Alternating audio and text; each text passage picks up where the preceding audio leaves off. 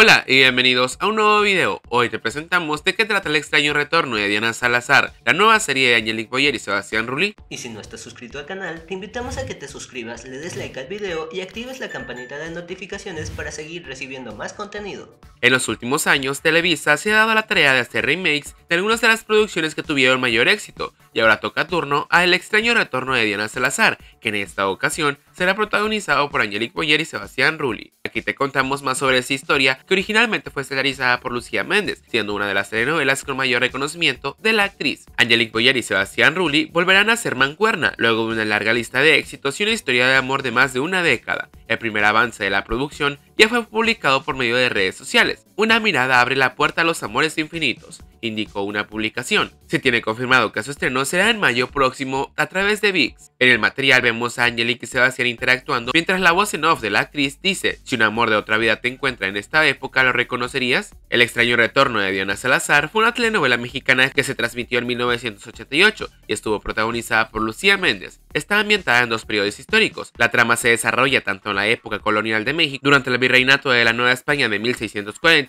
como en la época contemporánea de 1988 en la historia colonial se narra la vida de Leonor de Santiago, una mujer acusada de brujería durante la Inquisición española en México. Ella es condenada a morir en la hoguera junto con su prometido. Sin embargo, antes de morir, Diana lanza una maldición sobre aquellos que la han condenado. En la historia moderna de 1988, Leonor renace bajo el nombre de Diana Salazar, siendo una mujer que experimenta pesadillas recurrentes sobre su vida pasada y su muerte en la hoguera. Ella intenta desentrañar el misterio de su conexión con su yo del pasado y descubrir la verdad detrás de su muerte. La telenovela combina elementos de drama histórico, romance y misterio, explorando temas como la reencarnación, la venganza y la redención a lo largo de ambas líneas temporales. No te pierdas la nueva versión del extraño retorno de Diana Salazar a de mayo solo por VIX. ¿Y a ti? ¿Qué te parece todo esto? Deja tu respuesta en los comentarios. Y si te gustó el video y quieres seguir viendo más contenido en el canal, no olvides suscribirte, picarle a la campanita de notificaciones y dejar tu like. Y recuerda que si quieres recibir un saludo, solo tienes que dejar un comentario pidiendo el saludo, compartir este video y seguirnos en nuestras redes sociales.